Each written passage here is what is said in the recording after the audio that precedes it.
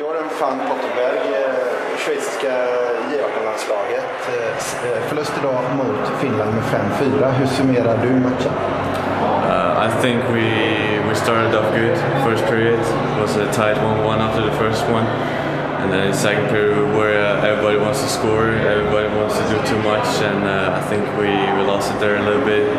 Uh, you see the result after the second period uh, was 5-3 every time uh, they scored, we we we uh, responded. we responded and made it tight again. But after that, we we like didn't keep going that way until they scored again. And so I think we lost it a little bit in that period and stepped up for the last one uh, really good again.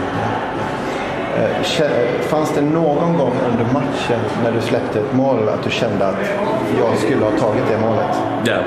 I think in the second period it was the fifth goal. I think uh, uh, there's a from he's shooting from the side and I go down with uh, one leg. Uh, it's an easy shot. I should go down in the butterfly and just put it in the corner. So uh, I feel a little bit stupid about that, but I try to forget it directly and uh, go again for the next shot.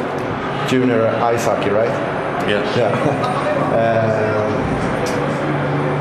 du spelar normalt sett i Linköping HC. Mm. Idag äh, drar serien igång igen och de möter Frölunda HC.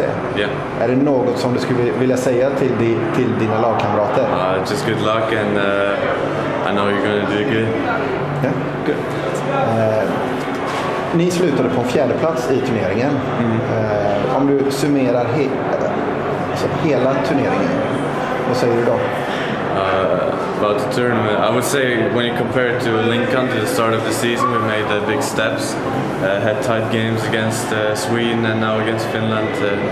US uh, we had uh, it was a little bit tougher, but I think we, we made a big step from the summer and it's getting better.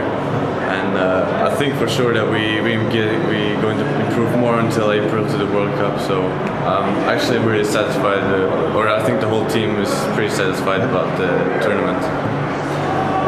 World Cup on uh, home field, right? Yeah. Yeah. Will you be there?